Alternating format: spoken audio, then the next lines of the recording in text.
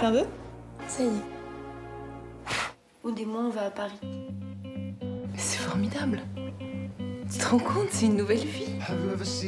Puis tu pars pas toute seule, il y a Clotilde. Mademoiselle a 18 ans, elle pense qu'à sa gueule. Si tu fais ça, tu ne me demandes plus rien. Ça va être super. Ah, je me sens trop bien. Vous n'êtes plus au lycée. J'en attends un peu plus de vous. Bonjour. Je viens pour l'annonce que vous avez déposée à la bibliothèque. Ça se passe toujours bien à Paris